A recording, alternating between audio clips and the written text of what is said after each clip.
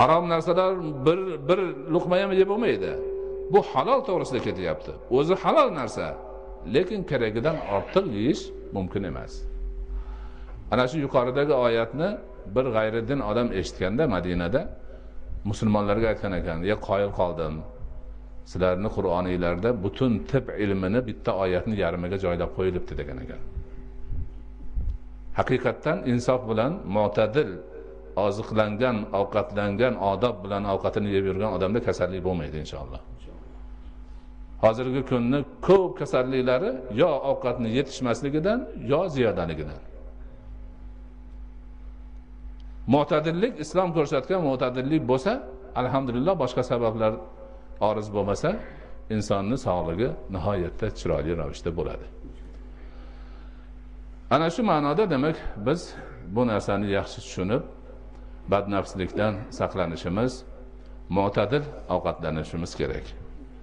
Shu yerda ulamolarimiz yana aytadiki ba'zi bir shariatni ruhini to'g'ri tushunmagan o'zini taqvodor tasib g'ururga ketganlar o'ziga kerak narsani ham yemasdan o'zini o'zi qiynaydi bu mutlaqo noto'g'ridir. Hatto ba'zi birlari chimxo'rlikni oqibatida farzini ham ado etmay qoladigan narsaga holatga borib qolgan bular. Bular sunnatga xilofdir dinimizga xilofdir. Taqvo emas ahmoqlik shaytonni vasvasasidir deydilar. Ana bu narsani ham biz demak yaxshi bilishimiz kerak ekan. Demak o'zimizni ovqatlanishimizni yo'lga qo'ysak badxuluqliklarni ko'pini oldini olgan bo'lamiz ekan. Yaxshi xulqlarni ko'pini inshaalloh osonlik bilan qabul qiladigan holga kelar ekanmiz. Endi farj shahvatiga o'tadigan bo'lsak bu ham nihoyatda katta balo ofat hisoblanadi. Ko'pgina ummatlar xalqlar butun boshlik millatlar mana shuni oqibatida halokatga ketganligini aytib o'tdik. Hozirgi kunda ham shunaqa hozirgi kunda ham shunaqa. Mana butun dunyoga o'lat bo'lib tarqalgan ba'zi bir kasalliklar aynan shu zinoni yoki livotani orqasidan chiqqanini hamma bilyapti. Butun dunyo biladi hozir. Bular hali yo'lini topolmayapti. Man amerikada shu e, spid markazida bo'ldim. Gaplashdik. Uzundan uzoq tushuntirishdi. Uzundan uzoq tushuntirishdi. Bu dunyo bo'yicha ofat. Undoq bo'ldi bundoq bo'ldi. Ho'p hozirgi kunda buni shifosi yo'q. Butun dunyoni urinib topgan iloji bir oz keyinroq o'ladigan bo'lishini ta'minlash bo'lyapti deydi. O'sha kasalga chalinganda ertasiga o'lib qolmas ekan dori ichib yursa sal cho'zilib keyin o'lar ekan. Qilayotgan nimalarini aytishyapti? U qilyapmiz bu qilyapmiz falon e, xalqdan bular piston xalqdan bular undan bundoq deb hammasini aytyapti. Milliard milliard pul sarflashyapti ekan. To'xtagandan keyin man aytdimki sizlar shu bemorlarni mana har tarafdan Э, hisob kitobini qilibsizlar. Erkakligi ayolligi yoshlari millati kasbi hammasi. Dinini ham bir e, hisoblab chiqdinglarmi dedim. Desam bir biriga qarashib yo'q dedi. Mana dedim. Man yuz foiz yuz foiz ishonch bilan aytamanki ana shu kasal bo'lganlarni dinini so'ranglar ichlarida musulmonlar bo'lmaydi. Bo'lsa ham musulmonlik nomi boru o'zi amal qilmagan bo'lib chiqadi. Chunki bu dardni davosini bizni dinimiz bundan bir ming besh yuz oldin yil oldin topib qo'ygan. Topib qo'ygan. Sizlar pulni ko'p sarflayapsizlar ekan. Bizga murojaat qilinglar biz sizlarga o'rgatamiz. Bizni dinimizda bolalarni kichkinaligidan jinsiy ma'noda to'g'ri tarbiyalanadi. Mana kichkina bolachalarni demak e, birga qo'shib yotqizilmaydi uyda. Bir ko'rpani ostiga ikkita bolani yotqizilmaydi. Payg'ambarimiz hadislari shu. Birga yotsa badani birga birga tegib boshqa badanga qiziqish paydo bo'ladi. Undan keyin kattaroq bo'lganda qiz bolalarni alohida qilamiz biz o'g'il bolalarni alohida qilamiz. Hammasiga odobni o'rgatamiz biz. Sekin sekin chiqib chiqib kelib faqat halol pok nikoh orqali bizda oila quriladi boshqa narsaga yo'l yo'q. Hayron qolishdi eshitmagan ekan buni. Biz umuman bu narsadan bexabarmiz. Bexabar bo'lsanglar mana endi xabarli bo'ldinglar. O'ylab ko'ringlar o'zinglar ular u qilish kerak bu qilish kerak deb ovora bo'lib yuribdi. Birortasini foydasi yo'q. Demak bu masalada biz nihoyatda mukammal ilohiy bir ta'limotga egamiz. Ana o'sha aytib o'tganimizdek bizni dinimizda zina harom qilingan va shu bilan birga zinoga olib boradigan yo'llar ham harom qilingan. Misol uchun payg'ambarimiz alayhissalotu vassalom aytadilarki begona bir erkak begona ayol bilan yolg'iz qolsalar uchinchilari shayton bo'ladir deydilar. Nomahram erkak ayol birga bir yerda yolg'iz qolsa uchinchisi shayton bo'ladi. Nima bo'ladi? Shayton ig'vo qiladi ikkovini zinoga chorlaydi. Hozirgi shunaqa holatlarni sanab chiqsa ko'pi shundan chiqqan.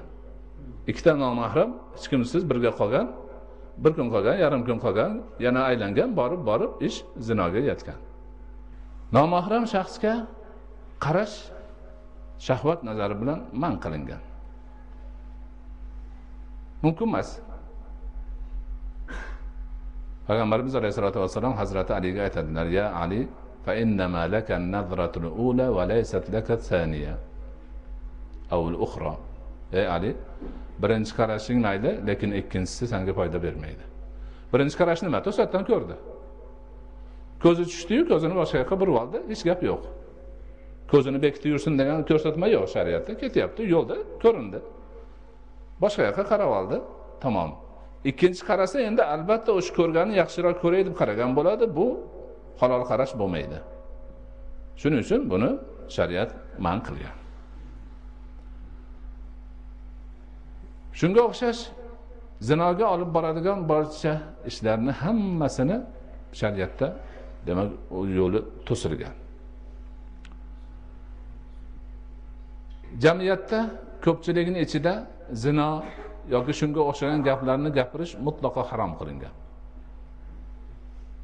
O'tirib suhbatlashayotganda ham gapirib bo'lmaydi. Hatto o'zi to'g'risida ham gapirib bo'lmaydi. Halol pok ayoli bilan bo'lganini ham birovlarga gapirsa allohni la'nati bo'ladi. Nimaga? Shu odamlar behuda o'tirib gaplashib gaplashib shu gapdan keyin bir narsa chiqadi. Bu gapni tashishni demak mutlaqo mumkin emasligi ayon bayon hech bunga shubha yo'q narsa. Ana endi shu bilan birga jinsiy demak shahvat bu zarar emas. Foydasi bor uchun alloh taolo buni yaratgan. Ulamolarimiz aytadiki bu shahvatni birinchi hikmati inson naslini bardavom bo'lishi. Agar shu jinsiy shahvat bo'lmasa birov bola ko'rmaydi. Inson birpasda inqirozga uchraydi. Shuni oqibatida demak insonlar bola ko'ryapti farzand ko'ryapti tarbiyalayapti inson sulolasi bardavom bo'lib kelyapti. Bu bitta hikmati. Ikkinchi hikmati mana shu demak shahvatni lazzati deydi oxiratni eslatadi. Bu dunyoniki shunchalik bo'lsa oxiratniki juda zo'r bo'lsa kerak man oxiratda jannatga kirishga urinishim kerak degan hikmatni mo'min musulmon odam o'zini demak qalbiga joylashi kerak deydi ulamolarimiz. Ana shu ma'noda demak bizda halol yo'l bilan oila qurishni barcha yo'llari nima qilgan? Osonlashtirilgan. Voyaga yetgan yigit qizlarni tezda uylab qo'yish. Imkonlari bo'lmasa yordam berish. Ho'p o'sha uylanish vaqtida bir birini bir ikki bir marta ko'rib o'zlariga yoqtirish uchun unga ham ruxsat va shunga o'xshagan hamma yengilliklar qo'yib qo'yilgan. Endi o'shani ham iloji bo'lmasa boshqa muolaja bor davo bor. Rasuli akram alayhissalotu vassalomni davolari u kishi aytadilarki ya mashara shababi man istata'a minkumul ba'ata falyatazawwaj. Va لم يستطع فليصم فإنه fa innahu lahu wija'un ey yoshlar jamoasi sizlardan kim uylanishga qodir bo'lsa uylansin. Uylanolmasa qudrati yetmayapti imkoni yo'q. Ro'za tutsin. Ro'za tutish uni jilovlab turadi deydilar. Demak o'sha jinsiy shahvatni jilovlashga ro'za yordam berar ekan. Ana shunaqa paytda yosh kishilar ro'za tutishib tursa haligi demak e, ma'no kesilar ekan e, demak shiddat yengillashar ekan. Eski paytda ulamolarimiz shunaqa e, bemaza gaplarni uyat gaplarni ko'pchilikni ichida gapirib bo'lmaydi undog'idi bundog'idi deyishgan. Hozirgi kunda endi biz aytishimiz kerakki shunaqa harom harish jurnallarni ko'rib bo'lmaydi kitoblarni o'qib bo'lmaydi filmlarni ko'rib bo'lmaydi. Bularni hammasi yoshlarni axloqini buzadi noo'rin ravishda shahvatlarini qo'zitadi zinoga gunohga har xil balo battarlarga sabab bo'ladi. Shuning uchun mo'min musulmon yoshlar bunaqa badxulqliklardan e, sharmsizliklardan noto'g'ri holatlardan uzoqda bo'lishlari kerak allohdan qo'rqishlari kerak. Mana bundoq bir baloga giribtor bo'lib qolmaslik uchun taqvoda bardavom bo'lishlari kerak. Ho'p. Alloh taolo hammalarimizni mana shu ikki shahvatni balosidan o'zi saqlasin. Doimo yaxshi to'g'ri shariatimizga muvofiq bo'lib borishimizni nasib qilsin.